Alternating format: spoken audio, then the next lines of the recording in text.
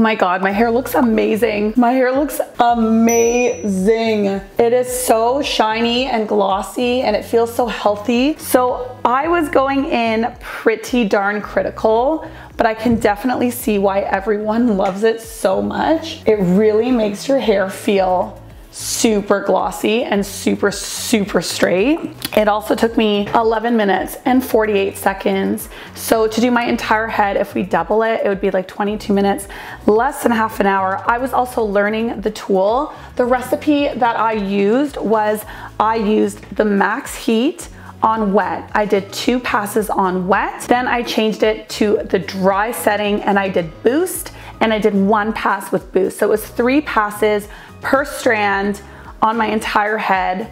And yeah, I mean, it literally couldn't get better than this. Like this is like literal silk. It looks amazing.